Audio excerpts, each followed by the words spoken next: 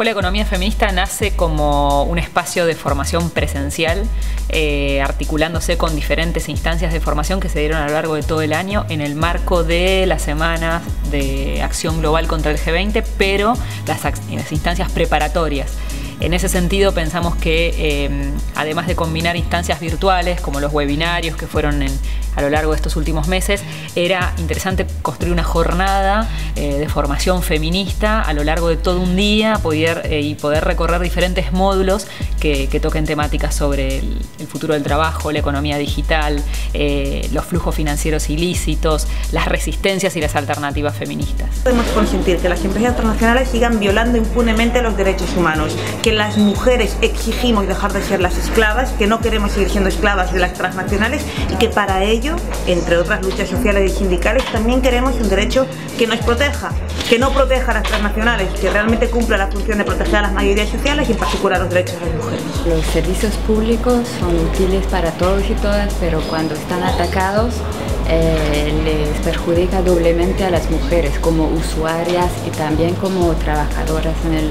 los sectores públicos. El trabajo no remunerado, el cuidado, el trabajo doméstico son uno de los factores que mayor desigualdad generan porque impiden que las mujeres eh, elijan diferentes opciones laborales, eh, elijan carreras que puedan llevar más tiempo, tienen menos recursos para financiar porque trabajan menos,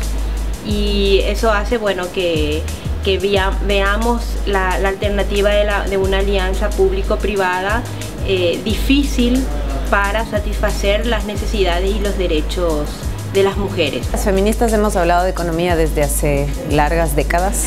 eh, y ahora es central que nos concentremos en la discusión sobre la economía, el mundo del trabajo, el mundo sobre la vida, porque básicamente estamos asistiendo a una alianza cruel, criminal entre el patriarcado, la colonialidad y el capitalismo que ponen en el centro de la discusión justamente sobre el tipo de vida y sobre las vidas dignas. ¿no? Nuestras vidas se ven amenazadas en todos los sentidos, ¿no? Eh, tanto por la cantidad de horas que trabajamos, nuestras condiciones de precarización y de sobreexplotación, como porque somos las que estamos ahí defendiendo el agua, las semillas, la tierra, ¿no? y somos las que ponemos el cuerpo frente a toda eh, la estrategia de las empresas extractivas y transnacionales en nuestros territorios.